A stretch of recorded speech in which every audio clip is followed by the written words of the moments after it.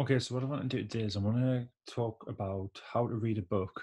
It's probably your first book or your first longer text in Spanish or in the target language. I remember not too many moons ago being in the same position as you, and it was something that I found particularly daunting, especially coming at such an early period in time where you've had maybe a year of getting used to slightly longer texts, but still texts that aren't of the same length. These kind of look quite daunting, and there's different strategies that you need to deploy. So hopefully this little tutorial will give you a little bit of help on the strategies that you can use, etc. So the aims, what I want to do today is I want to look at the difference between macro level and micro level reading. There's different levels of reading, but these are the two that I want to focus on in particular. I want to look at the different ways in which we can read a text or read a piece of writing and look at strategies that you should deploy as good habits when reading the foreign text for the first time. So, when we read anything, we read on different levels. When we read on the macro level, we're generally looking at the bigger picture or reading for the bigger picture.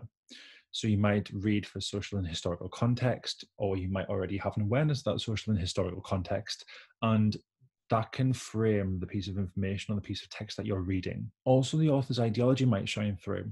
So, for instance, if we know a bit about a certain author, say if we know about Sender being um, a, one point anarchist and one point communist, we can read, for instance, Requiem por un campesino español and pull that apart.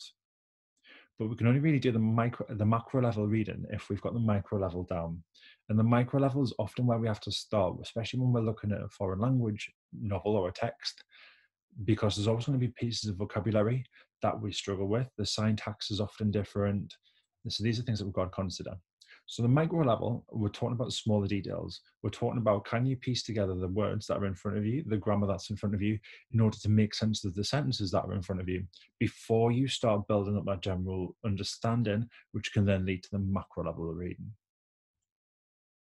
Now, that micro level can often be quite challenging. It's very, very time consuming, as you'll see me do a paragraph in a second, in a few seconds' time um, and it can get really really frustrating and it can be somewhat time consuming laborious and it can feel like a right effort. But really what's important and you've got to maintain this throughout to be really successful especially reading um, literature is to keep a really positive attitude towards it and there'll be a few steps that i hope to show and hope to share with you that'll help you do that. So i want to talk about different ways of reading um, reading something that I'm generally quite interested in. Um, myself, I'm more of a non-fiction kind of person. I love reading newspapers, etc., um, articles online and blogs. Literature, I do enjoy. I do enjoy um, non-fiction. However, I've got to say I'm more of a non-fiction. I like reading facts, and the information that's in front of us and the different formats can lend themselves better to different styles of reading. If I want to get the general gist of something, I'd use a process that's called skimming. Skimming is where you read a piece of information, you're not necessarily paying attention to every single word, every single detail, but you just want to get the overall gist.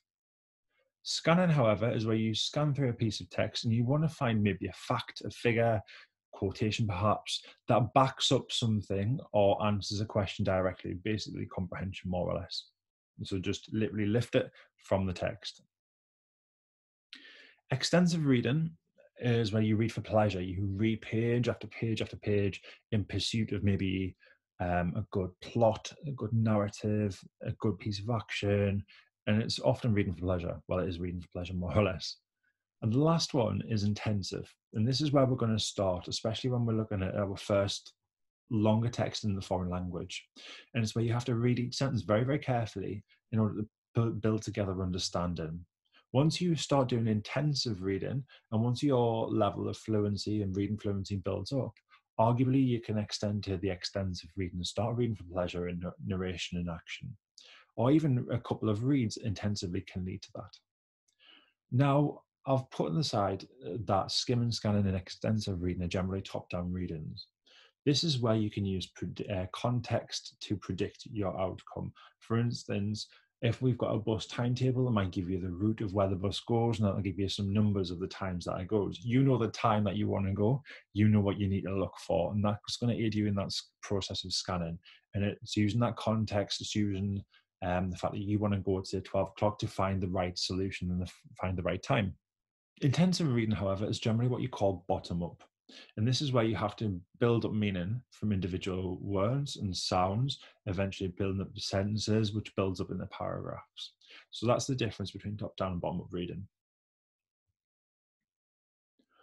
Now, like I said, read intensively is going to be something that you need to do when you're engaging with the foreign text because our literacy levels aren't as strong in the foreign language as they are in English.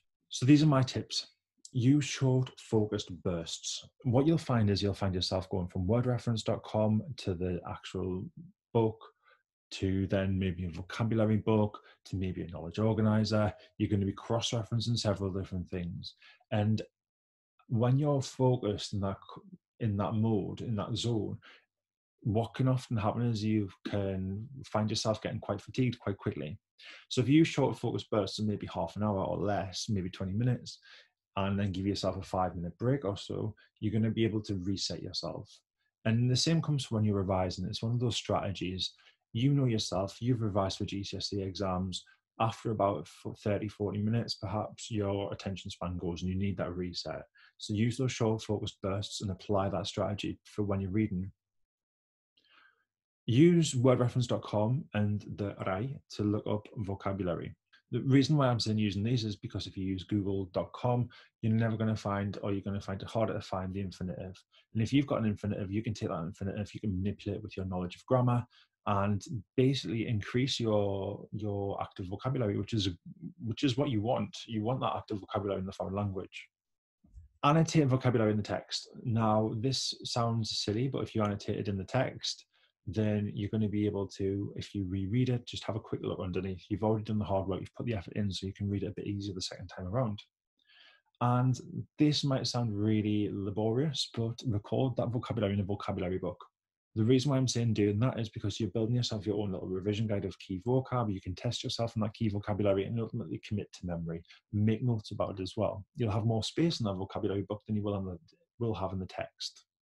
Now, if you're putting that much time into decoding maybe one or two sentences for understanding, you're probably going to forget um, what's actually going on about the plot, the characters, and the narrative.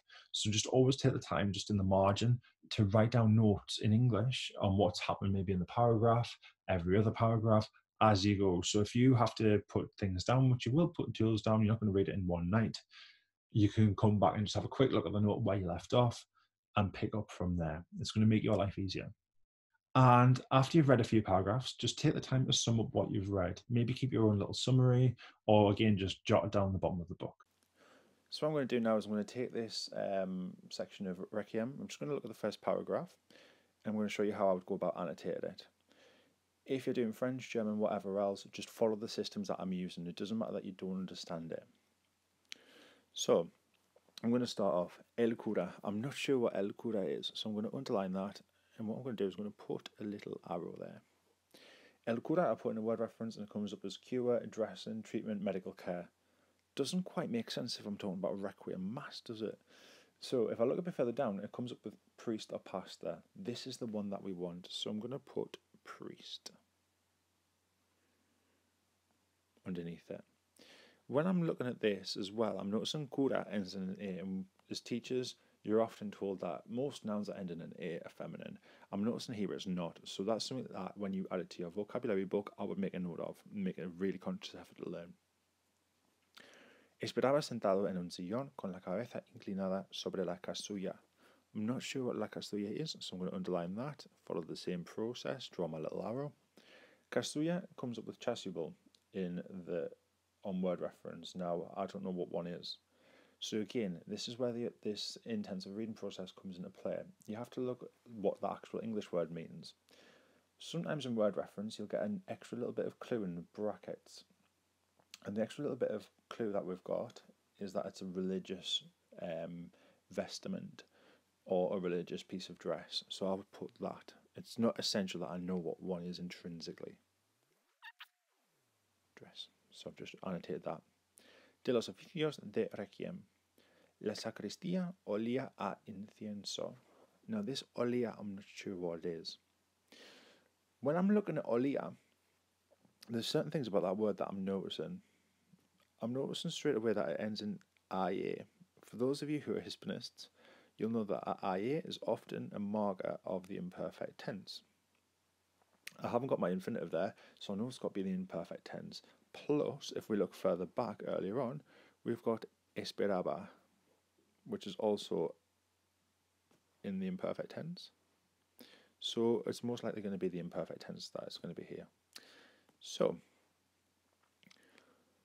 if I put olia, a conjugated verb, in into word reference, the likelihood is I'm not going to get anything come up.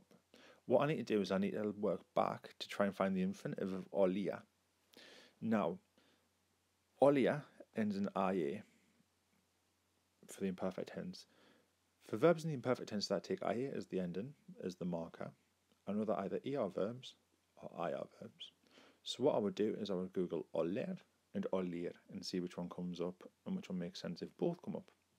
What you'll find come up will be oler, and oler itself means to smell. So I'm going to put, to aid my reading, rather than putting the infinitive here, I'm going to put smelled. But again, when I'm writing my vocabulary list, the in the booklet for my vocabulary book, I would put olia, it smelled, oler, to smell. So you've got that infinitive there. En un rincón había un, fa eh, un fajo. I'm not sure what un fajo is. So again, I'm going to underline it, little arrow, and it'll tell me that it means a bunch. It's like a bunch or a um, bundle. De ramitas de olivo. Ramitas, branches de olivo, de las que habían sobrado del domingo de Ramos. Now again, I'm not sure what sobrado is, so what I'm going to do is I'm going to underline sobrado. What I've got in front of sobrado is I've got habían, which forms part of the pluperfect tense. So again, I'm going to have to look for my infinitive. If I looked up the infinitive of habían to get haber, I would just get to have that doesn't make sense with East, uh, with Palm Sunday. So what I need to do is I need to look up the actual sobrado part of the verb, which is the past participle technically. So what I'm going to have to do is I'm going to have to work back from that past participle to find my infinitive. So sobrado, that ado is quite nice because it tells me it's an ER verb. I'll put sobrar into wordreference.com and it'll tell me to be left over.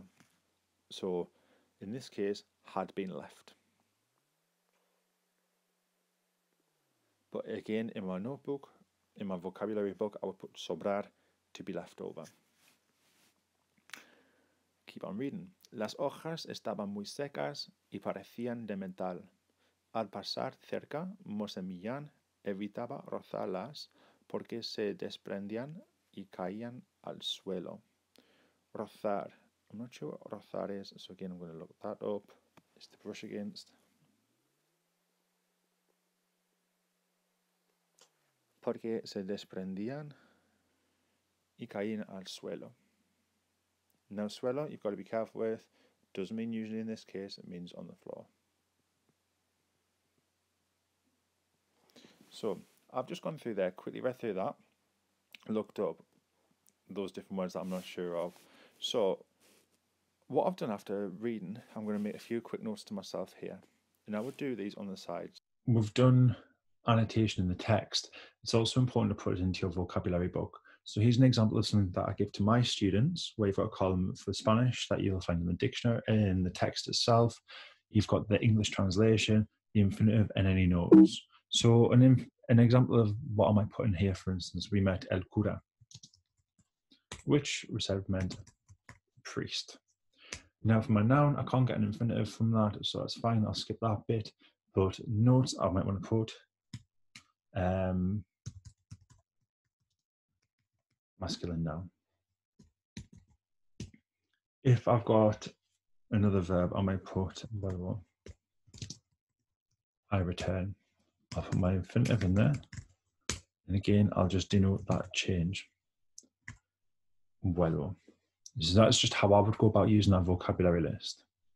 So the main things when you're reading the book, one, make sure you annotate the text as you go Two, make sure you put it in a vocabulary book so you've got it all there and you can come back to it as you go. Third thing, don't spend too long in one burst. You want to give yourself short, snappy bursts and make sure you don't become disillusioned with it and keep a positive attitude. Sum up what you've read after each paragraph, sum up what you've read after each page, perhaps, and keep it short. Once you've read it once, go back and read it again, and you'll read it a lot quicker the second time.